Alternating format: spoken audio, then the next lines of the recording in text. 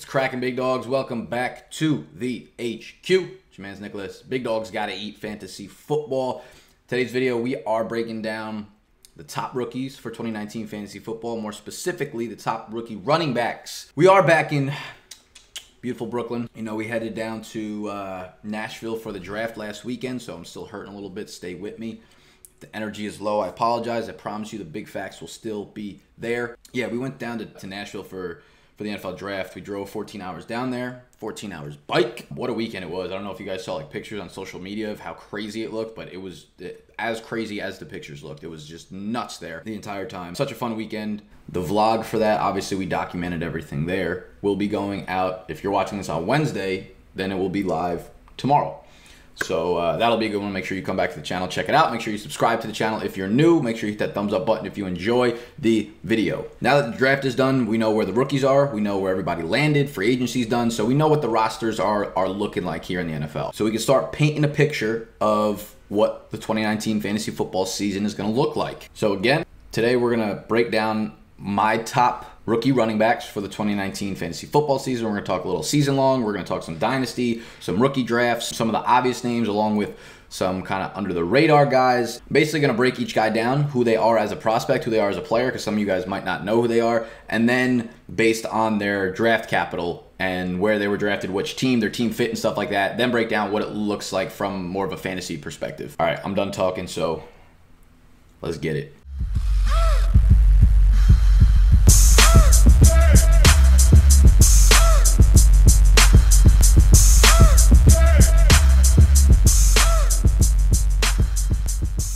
Real quick though. Real quick though. Real quick. Dope. Now that the draft is done, you know, we could start getting a better feel for our rookie drafts, right? For those y'all that are in Dynasty. I want to know who your 101 is. Now that Josh Jacobs got picked in the first round, right? He's on the Raiders. He kind of owns that backfield. Hearing a lot of discussions, maybe him. I've even heard the name David Montgomery or Miles Sanders jump to the 101. Let me know down below who your 101 is in rookie drafts this year for your Dynasty League. Also, if you guys are interested in joining a Dynasty draft, we have partnered up with Fleaflicker as well as Team Stake to do paid leagues. Um, if you head over to patreon.com slash BDGE, you will be able to join Dynasty League startups that will start drafting in about a month or so um, with other members of the Big Dogs community. I will probably join myself into a couple of those Dynasty Leagues. So head over to patreon.com slash BDGE. Let's get to that first name. We have Josh Jacobs out of the University of Alabama. He was picked in the first round by the Raiders. Pick 24 overall. He was the only running back to go in the first round. Now, one thing that's so important when you're looking at these rookie running backs is to really look at these situations completely objectively because there's no other time of the year where you're really looking at game film, right? And each person is going to have their own wildly subjective opinion of a player. So it's really important to step back and be like, okay, I watched one game of this guy. I liked what I saw. That doesn't mean he's the next running back star in the NFL. You have to look at things from an analytical standpoint. You got to look at the numbers. You got to look at the athleticism, the production profile. You got to look at all of them together. And that's what I'm trying to do for y'all today. I don't think I could find a better example of, of, what I'm talking about than Josh Jacobs out of Alabama. He had a counterpart named Damien Harris, who was drafted by the Patriots in this draft as well. And Josh Jacobs actually saw less work than Damien Harris did while the two were at Alabama together. These are his college numbers. He played three years at Alabama. There's not anything on this page that jumps out to you whatsoever. Josh Jacobs has never totaled more than 120 carries in a season three years at Alabama, while Damien Harris, his counterpart, had 135 or more targets in each of the three years that Josh Jacobs was at Alabama. His final season, when he jumped up from 46 carries in 2017 to 120 in 2018, you see his yards per carry number dropped 6.2 down to 5.3. So when we're looking at Jacobs, almost everything that people are excited about is complete projection. We've never seen him handle a workhorse load. We've never seen him get a ton of receptions and we've never seen him be particularly efficient with a bigger workload. And his athletic measurables, his metrics from the pro day, did not do him any favors. If you look at his college target share, 4.2%, which puts him in the 19th percentile for running backs. A 4.69 40 yard dash puts him in the 29th percentile for weight adjusted speed score. A poor, poor, poor, homeless almost, you could say, burst score, 34th percentile. He didn't test for agility. He has that workhorse size though, 5'10, 220, which is something that a lot of the backs in this class lack. And I think that's why people got so excited for Josh Jacobs. And um, somehow, somehow, Josh Jacobs' best comparable player, despite the lack of production, despite everything, his best comparable player came out to Arian Foster on player profile. I'm not even sure how that happened, seeing as how Foster's college dominator was nearly double Jacobs's, and his college target share was in the 86th percentile compared to Jacobs's, who was in the 19th percentile. But regardless, when I see Arian Foster pop up on there, I'm like, okay, you know what? We do have an example of a guy who lacked production, who lacked a few of these things, that did end up being a great NFL player. So the, the precedent is, is set there. So it's possible that Josh Jacobs can be a, a great player. Jacobs on film is where he excels, right? There, there's no denying that from the big dog. The guy is explosive. The guy hits the hole hard. He can cut on a dime. He has the size. He has the quickness quickness to make a guy miss through power, through burst, through elusiveness, all the things that you want in in a pure runner, right?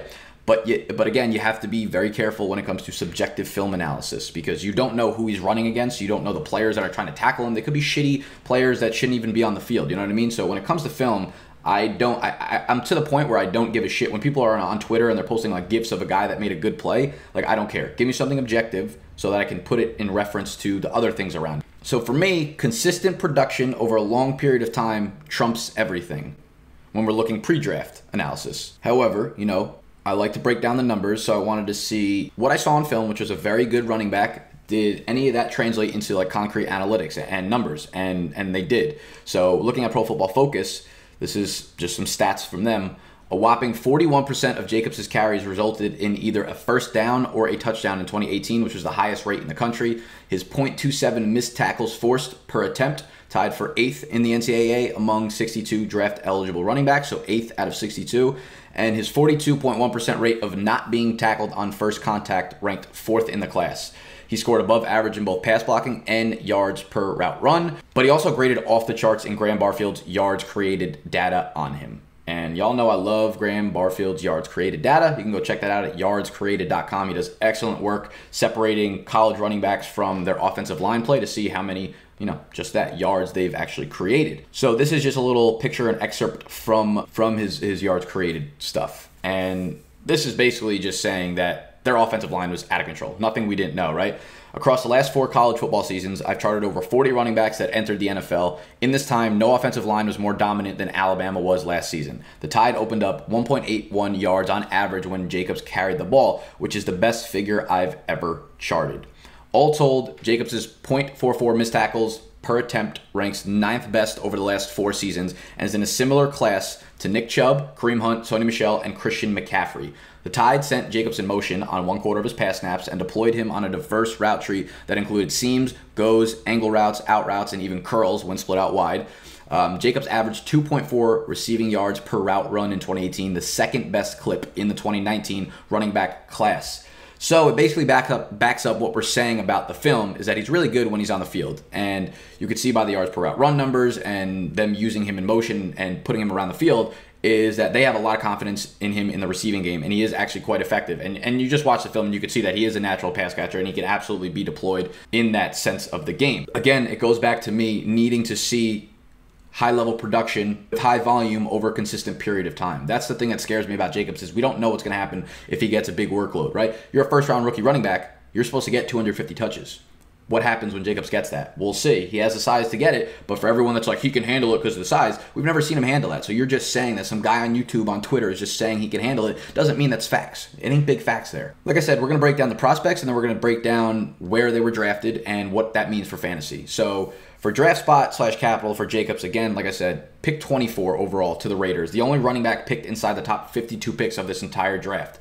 So clearly, you know, draft capital is so, so, so important when you're looking at rookie running backs. And for the most part, you kind of have to be picked within the top three rounds. Let me say this way.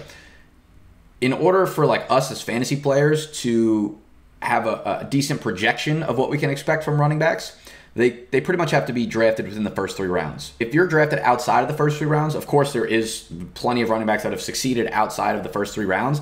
But from us projecting who those are going to be, it, it's extremely difficult. The hit rate on guys in rounds four through seven or undrafted is like six percent uh, of guys who would give you know a top twenty fantasy running back season at one point in their career. So it's very very very very difficult to project that. So Jacobs comes into Oakland. He becomes the immediate starter. There's a few other mediocre backs in in Oakland right now. They just inked Isaiah Crowell, so he's there. The pass catching back Jalen Richard is still in Oakland. They have the redundant DeAndre Washington. I don't even know why he's still there. The unnecessarily hyped Chris Warren, who runs like a fucking 4'8", 40.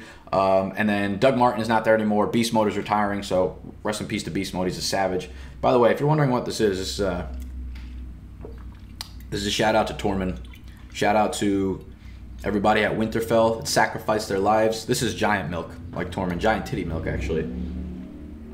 But really getting into the numbers, guys. With Josh Jacobs, what I wanted to do is like, yes, when you're a first round rookie running back, if you're picked in the first round, your path to touches is clear as day, right? There's nothing stopping you from seeing 250, 300, 350 touches. However, the numbers are a little bit different depending on where you're actually drafted. Over the last few years, we kind of assume this first round running back is going to get monster totals because we've seen Leonard Fournette, Christian McCaffrey, Saquon Barkley, Zeke are the ones that are being picked. But they're all like top five guys, top seven guys at worst, right? So there's no wonder that their overall touches are going to skew the entire first round rookie running back kind of argument. So what I did was using the RotoViz screener app, I wanted to look at rookie running backs depending on where they were drafted. So I looked at top five, then from six to 10, and then 11 to 20, and then 21 to 32. Jacobs falls into that last category, right? Because he was picked from picks 21 to 32 at pick 24. So I looked back since 2000, 18, 19 years of sample size, and this is the average rookie season of that running back that was picked from picks 21 to 32. We have a 17 running back sample size, so that's a pretty good, sizable amount. Their average touch count in that rookie year 192 touches, 201 total opportunities, so carries plus targets, 5.9 total touchdowns, 33 targets, and looking at it from a fantasy perspective, RB27 in standard, RB27 in half PPR, RB31 in full PPR. Their average weight was 217, average height 5'9. So Jacobs is right around there. I think these are these are very very very realistic expectations for Jacobs, right? 225, maybe up to 250 touches. Decent involvement in the passing game, as you see, 33 targets was the average there. Jalen Richard is still there, and they trust him in the passing game. They used him a ton last year, and I don't think Jacobs is going to come in and play on every third down. I don't think he's going to be that guy. This offense won't be tremendous. I think 1,000 to 1,100 yards from scrimmage is absolutely realistic for Josh Jacobs. Five to seven total touchdowns. That's where I think people are going to get skewed. I think they're going to come in and, and assume that Jacobs is going to catch 40 balls, go for 1,300 yards, and score eight to 10 touchdowns. I think at the end of the year, we're looking at Jacobs having I don't know maybe six touchdowns, something around there. I, I, kind of expect his ADP to hit somewhere around you know round four, and for me that's that's way too high for my liking. Uh, I'll let him fall if he falls to round five. I would start looking at him.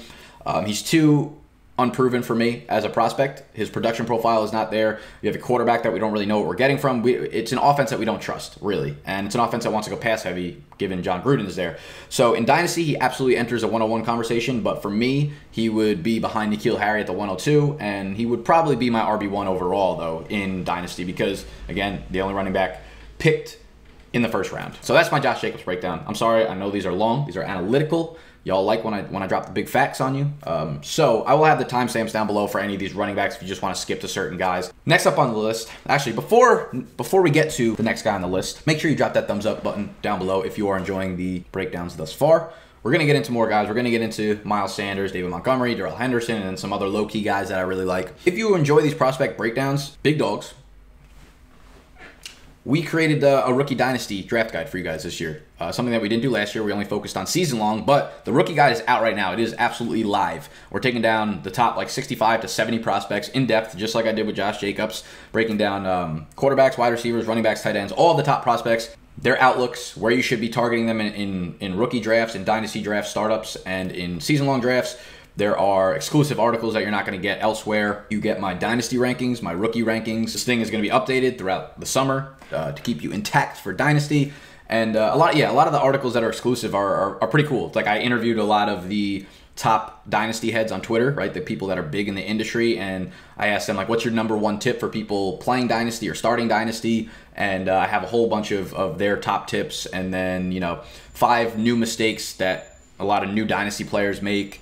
Um, there are, there are going to be exclusive videos that aren't on YouTube, like you know mock drafts of a first round rookie draft or full rookie drafts, things like that. So um, a lot of awesome content. If you are into dynasty, if you are into you know if, if you're doing rookie drafts right now, because I know a lot of them start right after the NFL draft, you can grab that right now bigdogsdraftguide.com.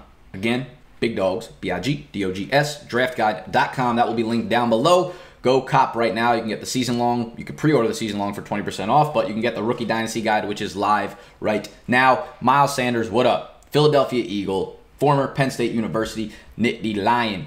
Goes in round two, pick 21, 53rd overall. Sanders has, uh, you know, steadily kind of crept up dynasty rankings over the last month or so, especially after the especially after the combine, which he kind of blew away. I'm sure you guys have kind of heard the story with Miles Sanders by now. He went to Penn State, but he was backing up Saquon Barkley for the first two years, so the lack of production over the first two years is literally you couldn't find a better excuse for why you couldn't have production over the first two years. Your ass is sitting on the bench behind Saquon Barkley. That would happen to anyone in the world.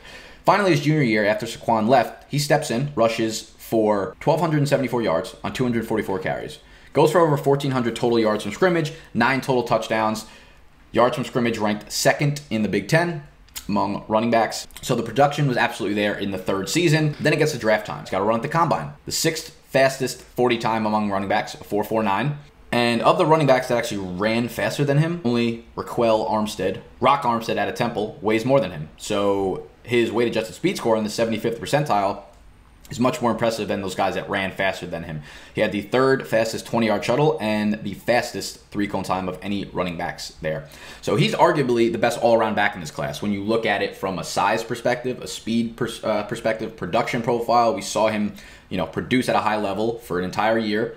Um, catching the ball, he had 24 catches last year, which is around the number I look for in a college running back to let me know that he can catch passes. His measurables are very good. He tested very well at the combine. So He's all around a great running back. He's shown the ability to produce on all three downs. It's very difficult to find an objective weakness when it comes to Miles Sanders. Again, I want to break down Graham Barfield's yards created. When I chart games for yards created, I classify missed tackles forced in three ways power, speed, and elusiveness. Miles Sanders' 0.17 missed tackles via elusiveness is tied for eighth best since 2016.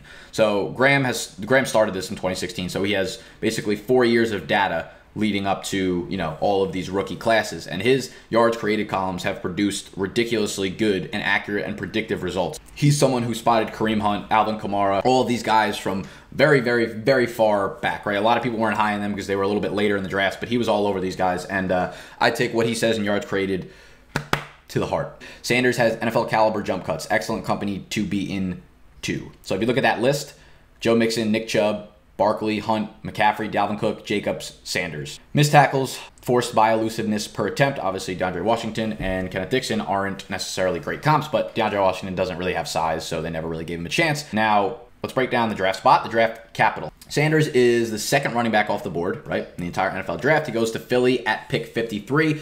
He is the only other running back besides Josh Jacobs to, uh, to actually get picked within the first two rounds of the draft, which is actually a surprise because when you look at the last two years, there have been a combined total of 11 running backs picked within the first two rounds of the NFL draft. So that's on average five and a half a year. This year it was only Josh Jacobs and it was only Miles Sanders. Now, his second round draft capital obviously does not guarantee success. First round doesn't get first round almost guarantees success just from a volume standpoint, but second round doesn't guarantee success. But there are a lot of good names when you look at second round running backs over the recent years.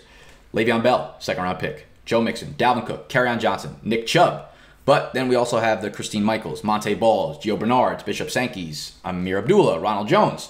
So it's just a reminder that realistically you could talk yourself into any running back, and that guy can turn into any one of these running backs. So I had Miles Sanders as my RB2 in rookie drafts, in, in Dynasty, whatever, for rookies, um, behind Jacobs prior to the draft, and that remains the same. It's still Jacobs, still, and then Sanders right after him. Sanders should step in and immediately compete with Jordan Howard for that starting role, if not take that over by the time camp starts. Howard was traded to the Eagles for a sixth round 2020 pick. Time is money, so that's even less valuable, right? A sixth round 2020 pick. Miles Sanders was just the second round pick for the Eagles in 2019. Howard has the size advantage, maybe by a little bit, but other than that, I would say Sanders' game basically has the advantage on Howard in almost every aspect of it. He's a great all around back. Howie Roseman is really excited about this guy, and I trust him when it comes to draft picks. I trust him when it comes to draft picks at the running back position specifically. One of the articles that kind of uh, came out over the last couple days was Howie Roseman talking about Miles Sanders, and he said he reminds us of other guys in the backfield that we've had around here, and we really liked him. We really liked the chance for us to get him, you know, that early in the draft. And when he says that, I'm like, what guys is he thinking about? Because it ain't Corey Clemente, it ain't Wendell Smallwoods. So Philly, this is a tweet I saw somewhere on, on, on the Twitter sphere.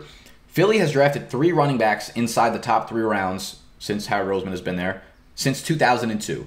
Three running backs within the first three rounds. Miles Sanders, 2019, LeSean McCoy, and Brian Westbrook.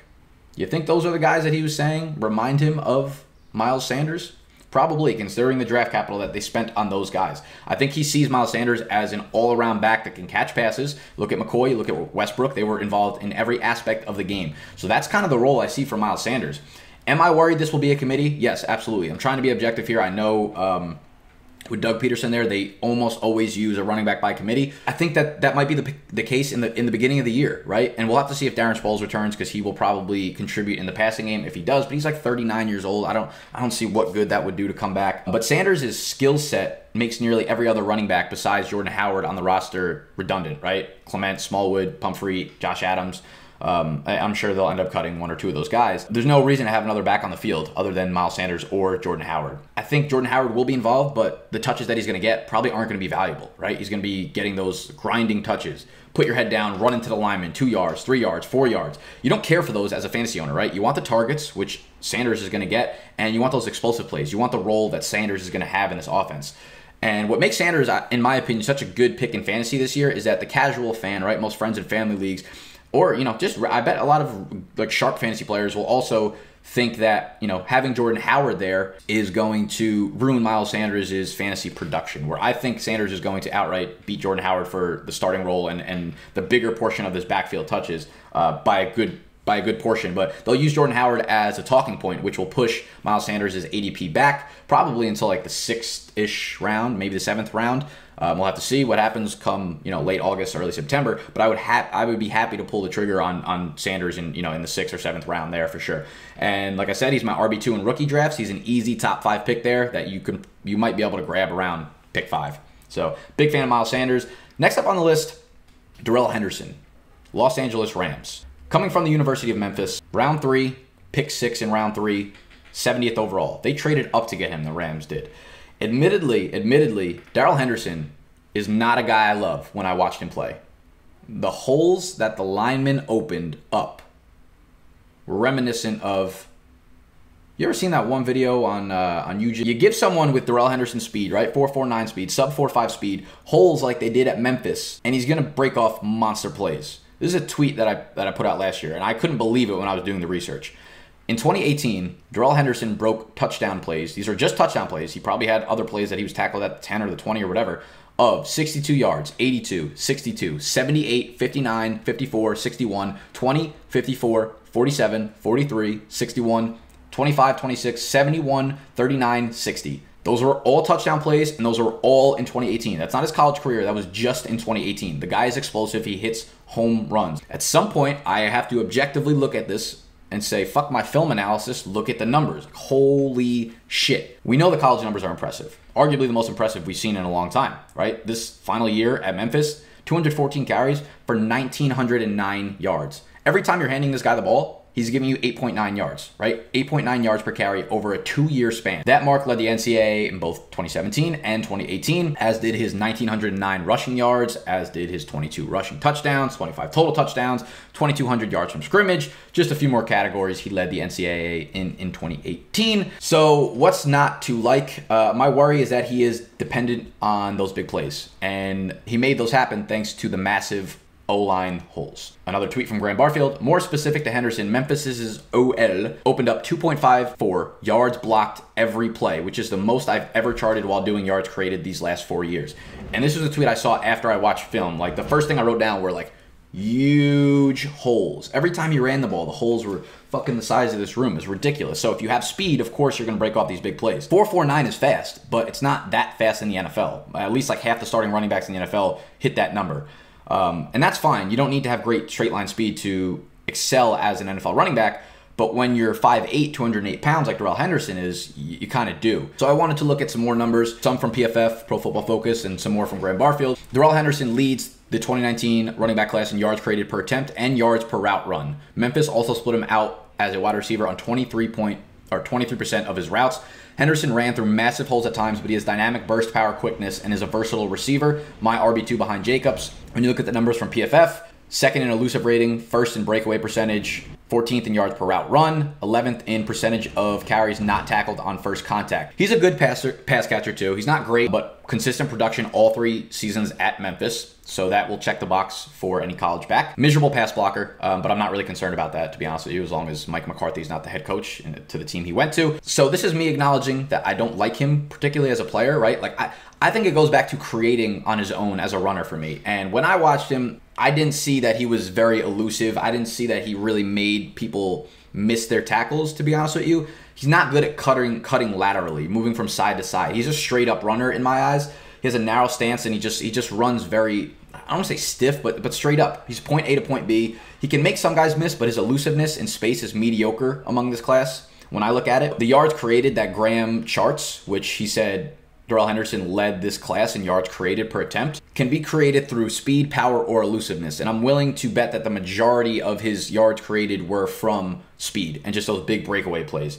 So I personally don't like backs like that at all, and I think you need to be in a really good situation. It's almost like it's like Tevin Coleman, right? Straight up back who needs big holes to fucking blast through them. However, however, however, Darrell Henderson ends up on the Rams. You literally couldn't have found a better situation for him to end up in, and this was a lot. You know, I've said this for a couple years now. Todd Gurley would not be putting up the numbers that he did uh, without that offensive line most of his touchdowns come from within the 10 yard line, within the three yard line, within the red zone, right? I think all 18 of his rushing touchdowns last year came within the red zone because he has monster, monster lines. So he goes to the Rams. They actually trade up for him. This this is tipping their hand. Uh, we've been talking about it all offseason.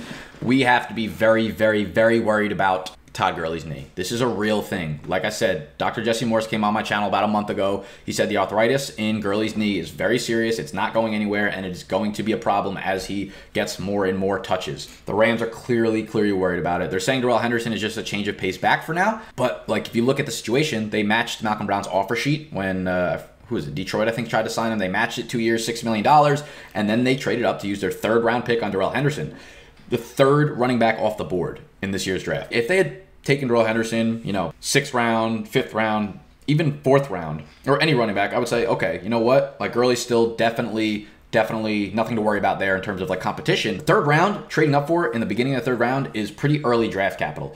And it's true that Henderson won't make an impact immediately. You know, he'll be sitting behind Gurley, but you couldn't have put him in a place that's more similar to where he was at Memphis in terms of opening up these massive lines for him to just run through. And he should work wonders there given his breakaway ability, right? Like I said, I didn't like Henderson that much as a player, but this landing spot was his absolute ceiling. And I'm expecting Gurley's workload to decrease a little bit, right? They want to keep him healthy for a playoff run. And we saw how unhealthy he was for the playoffs this year. Um, if not, they're going to give him a ton of touches, and I think that knee is going to bother him, and, and there are going to be a lot of issues there. So if something were to happen to Gurley this year, Darrell Henderson would step in. He will be the number two there. He will step in and be a weekly top 15, if not top 12, if not higher than that, um, weekly fantasy back in that Rams backfield. It's going to depend on what happens with Gurley's health. But the fact of the matter is that there is a big issue there when it comes to Gurley's health. So Henderson probably won't be in my top three running backs when it comes to rookie drafts. He'll probably be closer to the end of the first round, maybe early second round, just because he goes into a backup role. Whereas the next guy, David Montgomery, drafted to the Chicago Bears, will probably step into the starting role immediately. This guy is fun to watch in open space. Not running the 40 yard dash, not fun to watch that, but he, at creating yards, he is fantastic. He's where a great producer meets miserable athletic measurables. And we knew Montgomery going into the combine was not a burner. He was going to have to test well to prove people wrong. No one went into it saying, oh, this guy has the breakaway speed, this guy can make long runs, whatever, whatever, whatever. He goes into the combine, runs a 4.63, 5'10, 222 pounds. So 47th percentile weight adjusted speed score, but his burst score was bad. All the testing was bad. But college dominator, college target share, all up there. And I have my concerns based on the 4.7 yards per carry that he had throughout college, which is not good for an NFL prospect, but their offensive line was miserable. He forced 100 missed tackles this year. Just this year, 100 missed tackles. That was the first time ever that a PFF graded running back has done that in a single season. He is ridiculous in open space, but the lack of breakaway plays is definitely concerning. He was picked in the third round by the Chicago Bears, picked 73 overall, three spots behind Darrell Henderson. It, was no secret that the that the Bears were looking to draft the running back in this class. You know, they had brought in a ton of running backs pre-draft process to look at, and they talked about that they wanted to draft a running back in the class. And I actually love this fit. I love this fit, but I need to sell myself more on Montgomery as a player, I think. Something I did talk about with Montgomery pre draft a lot was it was important for him to land in an offense that ran out of the shotgun often, right? And basically, like David Montgomery is an upgrade to Jordan Howard in that he's a great runner, but he also can catch the ball. And he's like a better version of Mike Davis, who they just signed as well. When I'm talking about he needs to run out of the shotgun more, th- this is for a few reasons. It's because, like Le'Veon Bell, Montgomery can dance, man. Like he can really move them feet and make guys miss. But he has very little burst, and he's not going to break off 20 yard runs, 30 yard runs, 60 yard runs. He will not hit the home run. Guys that have that long speed and that burst benefit tremendously from running from under center. Just think about it from a common sense standpoint. If the the quarterback's under center and the running backs, you know, three, four, five yards behind him, he gets those initial two, three, four, five yards of of running to use that burst to blast through the hole. But if you're David Montgomery and you don't have burst, that's not really effective. But if you're from the shotgun, right, you get the handoff there without a running start, you get to see the holes. You get to see the guys coming at you and create space on your own. And I think that plays to the benefit of a guy like David Montgomery who doesn't have burst, but has great quickness in his feet and great, you know, um, yards creating and, and elusiveness ability. So you want an offense that runs from the shotgun a lot and runs um, most of their plays f- from that formation. I made this chart for y'all. I did this a while ago, just basically the teams that needed to draft a running back in this draft. We look at the percentage of plays from shotgun. And Chicago, 79%, second highest rate in the NFL. Their runs from the shotgun, you know, in terms of the percentage of the plays from shotgun that were run plays, 33%, third highest in the NFL. So this is an absolute great landing spot. Great news for Montgomery as a player in terms of, you know, where he's getting the handoff from. And there is also this other random note, probably absolutely nothing. It's a reach here, but cool connection to note. Um, for one, obviously Matt Nagy is coming over from the Chiefs, who coached Kareem Hunt, and he says he sees a lot of similar traits in the two, and I could see that. They, neither of them tested great, but they're both great in space, great balance contact, and can make guys miss. The current recruiting director at Northwestern, was the one that recruited David Montgomery to Iowa State, also was the one who recruited Kareem Hunt to Toledo before him. So there's these weird connections there between Kareem Hunt and David Montgomery. The explosiveness explosiveness absolutely still makes me nervous, right? His breakaway percentage last year was 31.2%, which was 63rd in the NCAA. Jordan Howard, who was also, you know, deemed pretty much like a big bruiser and, and kind of slow, ran a 4.57 40 compared to David Montgomery's 4.63 40. And when you look at the weight adjusted speed score, Howard's is in the 81st percentile. He had plenty of plays where he broke away 15 plus yards, 20 plus yards for Chicago. It's hard to predict that we see that with David Montgomery. Montgomery will compete with Mike Davis, who the Bears signed to a two-year, eight million dollar contract this year. It was two years, six million or eight million, somewhere in that vicinity. Um, but Montgomery is, is similarly built to Mike Davis and is better in the passing game and as a runner than Mike Davis is. So I don't really see a competition there. I think why they took him is because they don't want to rely. You know, it, it's so easy to see from a defensive standpoint. When you put Tarik Cohen on the field, they're going to throw the ball. When you put Mike Davis on the field, they're going to run, the, or Jordan Howard on the field, they're going to run the ball. So they wanted a big back who was very versatile, and that's exactly what David Montgomery is going to be. So they're going to be a very, very, very good duo, and it's a duo in which you're not going to be able to telegraph the offensive plays. Cohen will still be very heavily involved, but I'm looking at him, you know, last year, 35% of his plays didn't even come from the backfield. He was either out wide or in the slot. So, like, this is going to be an R- RBBC, but Montgomery should have plenty of games where he sees 18, 20 plus touches coming in both the passing game and the running game. Both of them can be on the field at the same time because Tarik Cohen is used all over the formation. The other thing to note is that it gets cold in Chicago towards the end of the year, man. Towards the end of the year, when they're playing that hard nosed NFC North football, 20 degree weather, we saw Jordan Jordan Howard start getting those carry touches, you know, those those those big workloads down the stretch last year when it gets cold. Montgomery is built for that, man. 222 pounds. He is going to thrive down the stretch where a lot of running backs might struggle a little bit. So he becomes an intriguing early round draft pick in, in fantasy drafts. If you are an RB needy team going into your rookie draft this year, the NFL draft couldn't have played out better, right? If you have an early pick, I should say.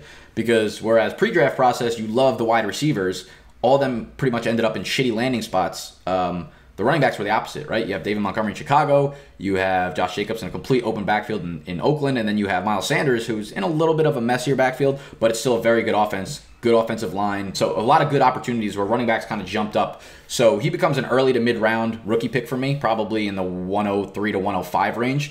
And in season long leagues, I'm probably looking at him I'm not going to go crazy and, and start looking at him in the third, fourth round would probably be the earliest I would look at him, but like fourth, fifth round. So a lot of these running backs will be going in in around the same area for me. But other than these top four guys, Jacob Sanders, Montgomery, and Henderson, there's not really a lot to love in terms of fantasy, in terms of landing spots and draft capital, right? There are only a couple other running backs picked within the top three rounds. Like I said, it's really important to, to get within that draft capital. It was Devin Singletary to Buffalo, round three, 74th overall. Damien Harris to New England, 87th overall. And then Alexander Mattison, 102nd overall, last pick of the third round.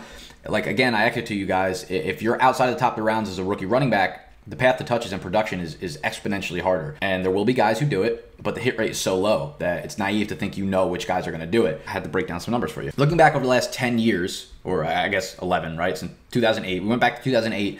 There have been 39 running backs drafted in the fourth round overall, right? So 39 over the last 10, 11 years. I mean, of them, there are a few that have been awesome, of course, right? There's Devonta Freeman, Lamar Miller, James White, Marlon Mack, Tarik Cohen. That's it, though. Those five. The other 34 running backs are either out of the league, never panned out, got hurt, whatever, which is 88% of those fourth round picks. So for every Lamar Miller that comes out of round four, you're looking at four Johnny Whites, Jamie Harpers, Gartrell Johnsons, Jeremy Langfords, those kind of guys. Some guys you've never even heard of and there will be hype put on every rookie running back because that's how Twitter and that's how fantasy football works. Guys like to hype up guys who aren't good just so in case they break out, they get to claim those guys. But I just echo to you guys the numbers, the percentages are not in your favor if you think that a fourth round running back is fantastic. It's 88% bust rate, right? So can you shoot your shot on your favorite guy? Of course, but temper expectations. The lower we go down in the rounds, the higher the bust rate is. So when drafting in rookie drafts, the entire first two rounds should basically only be used on guys that were drafted in the actual NFL draft within like the first three rounds. Let people who they think know something about a fifth, sixth round running back take him in the second round. Trust me, they, they don't know what they think they know. So let's break down those round three running backs real quickly. We have Devin Singletary joins a messy backfield in Buffalo. I loved him on the field at FAU. Unbelievable elusive, elusiveness, actually very similar to Shady. Unfortunately, he measured in at 5'7", 203, so a very small back and a miserable athletic profile, uh, 4'6", 40, I think. So when you're that small, you need to have burst, agility, long speed in order to really have success. So very small in size, uh, and he caught six balls the last year he was at FAU. He did catch more, in his previous seasons, but why do you only catch six balls in, in the year that you're about to come out? It's very hard to see him ever carry a big workload in the NFL. He joins um, a backfield with TJ Yeldon, who they just signed, Frank Gore, and LeSean McCoy. It's very possible that LeSean McCoy gets moved and or Frank Gore gets cut, which would obviously help the situation, but it's a little bit of a murky path to touches in an offense that we don't really know is going to be that good, which is probably not going to be that good. So for Singletary, he's probably an early third round rookie draft target for me. Damien Harris pick really confuses me, to be honest. The Pats used their first round pick on Sony Michel last year. And in my eyes, Michel is a far, far superior back to Damien Harris in terms of being a runner. Now, Harris is a good prospect. I like him as a back, but Sony Michel is, is a much better, better runner. So it begs, begs the question is Damien Harris just a pure depth pick? Probably not, because he was a third round pick, which is pretty early for a running back. And he was like the fifth or fifth, maybe running back off the board. Burkhead is signed through 2020. It would cost New England $2 million to cut him, so I don't think they're going to release him. It's, it's a bit confusing. Uh, I think it just speaks to the overall theory of New England. One, they value versatility more than they value, I think, the talent of a player. So Damien Harris can pass block, he can run the ball, he can uh, catch the ball. He could play on special teams. So I think they just saw an all around good prospect. They probably valued him more than a lot of other teams did on their board, and they saw an opportunity to jump up for him because they had three third round picks. Whatever, I don't see Harris really getting into the lineup and, and producing on a high level of fantasy production, especially not this year. Obviously, if Sony Michel or Rex Burkhead gets hurt, which is definitely possible because they've dealt with injuries, Harris can get on the field, of course. He's someone that I probably would look at in, in like the third round of rookie rookie drafts. Then you have Alexander Mattison out of Boise State. He goes to Minnesota. He's going to be a backup to Dalvin Cook. Latavius Murray signed in New Orleans, so he should step in as the number two. And I absolutely love this pick for Dalvin Cook, not for the Vikings or for Alexander Mattison. As someone who is going to be heavily invested in Dalvin Cook this year, I was worried that they take a back early or an earlier back or someone who I think could actually threaten Dalvin Cook. Mattison ain't that guy. I think guys who watch tape and guys who just look at the overall numbers of what Mattison did in college love him, uh, but that they're not valuing him from a fantasy perspective correctly, in my opinion. When you look at the overall numbers, you are going to be impressed, right? 1,415 rushing yards in 2018, ranked eighth in the NCAA, 302 carries, big workload, 17 rushing touchdowns, and he has size too 5'11, 221 pounds something that a lot of the top backs in this year's class lack. That size gave him the uh, ability to handle monster workloads. Last year down the stretch, their last two games, he, he's out of Boise State, I apologize. Their last two games, Boise State's versus Utah State and versus Fresno State, Mattison carried the ball 37 times for 200 yards, three touchdowns versus just Utah State. Their last game versus Fresno State, 40 carries for 200 yards. So 37 carries, then 40 carries, 200 yards in both of those games. Ridiculous volume. He's also a good pass catcher. 28 catches as a sophomore, another 27 in 2018. But at the end of the day, who he is as a plotter, who he is is a plotter, right? That's that's but he averaged 4.7 yards per carry at Boise State against lesser competition. Really bad. And what's worse is he ran a 4 6 7 40 yard dash. That just that just ain't it. He lacks explosiveness. He had just 9 carries last year go for 15 plus yards out of 302 total carries. That's 2.9% of his carries going for 15 or more yards. When you have other guys like Josh Jacobs, who was an explosive player and had a lot of his carries go for more, uh, I just think this guy is like a, a poor man's version of David Montgomery, um, maybe like an Alex Jones or a Jay Ajayi with a little bit better passing skills, or a Doug Martin who lacks speed and explosion. So it's all like poor man's versions of guys. He's missing parts of the game. He's really just a one down, two down plotter, and maybe they'll use him on the goal line. We'll have to see. That could be the only hit to a guy like Dalvin Cook. Not high whatsoever on Mattison. He's probably a guy we look at again in the third ish, late third round of rookie drafts. So that wraps up the top three rounds of running backs. We had some other guys that I want to point out that I like. Let me bring up a list of the running backs on here and guys that kind of jump out to me. Bryce Love was an interesting pick. I don't really want to get too into him because we don't even know if he's going to play this year. It might be a future pick to fill into that Chris Thompson role once he's gone after 2019, but I don't see him making any sort of impact in 20 in 2019, especially with Derrius Guice there. A couple guys I do love. I love the landing spot for Justice Hill. Um, they don't have explosive playmakers on that offense, right? They have Mark Ingram, Gus Edwards in that backfield. Justice Hill should step in and get a handful of carries as well as a lot of passing work there. So um, I absolutely love Justice Hill in rookie drafts this year. If you can get him a little bit later, he tests a great 4 4, um, 40 yard speed. Justice Hill is my favorite fourth rounder here. I like these back to back picks of uh, Rock Armstead to Jacksonville out of Temple. He was a guy I liked, especially when I saw him on film. He's a bigger guy with good weight adjusted speed score, so he's got um, good long speed, and that's just like who they have now, Leonard Fournette, who's probably going to get hurt again this year. So if he goes down, I like Rock to kind of step in and, and be a low key good fantasy producer this year. So he's someone I'll be targeting at the end of rookie drafts, as well as Qadree Ollison from Pittsburgh. He goes to the Falcons. I knew we were going to take a running back this year. I was expecting, I was actually expecting it to be Damien Harris, and I still feel like it probably was going to be if the Patriots didn't take him. Qadree Ollison has big size and good speed. 6'1, 225-ish, around there. Ito Smith's to be the pass catching back, I think. Devonta Freeman, who I also think has a very high risk of injury, will be like the early down grinder this year. And I think Qadree Ollison has a chance to really step in there and, and, make an impact in the rookie year. And he's someone who's probably going to go very possibly undrafted in rookie drafts because people don't really know his name. And I don't really know his name before he was picked, but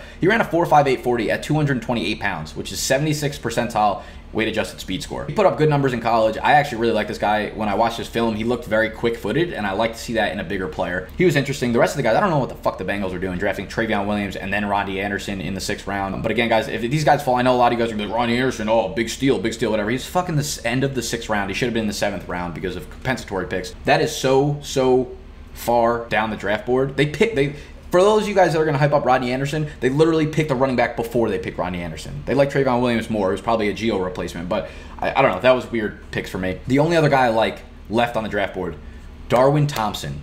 I absolutely love Darwin Thompson. He reminds me so much of Tarik Cohen. And when I did my write up for him, the pre draft write up, this was before the draft happened, in the rookie dynasty guide that's for sale, bigdogsdraftguide.com, I literally pinpointed I have I had him going to the Chiefs in the sixth round because you didn't have to spend a lot of draft capital on him, but he is like Tarik Cohen, which worries me a little bit for Damien Williams because I think Darwin Thompson is going to work his way into a pass catching role there. He's explosive, he is shifty, he is Tarik Cohen. Maybe a little less quick in terms of like lateral agility, but he is a better runner and he's way more powerful than Tarik Cohen is. So that in the Chiefs offense, I will take all of that in the fourth round of rookie draft. You might not even have to draft him because you went in the sixth round. You might be able to pick him up after your rookie draft. So Darwin Thompson is absolutely a name to keep an eye on.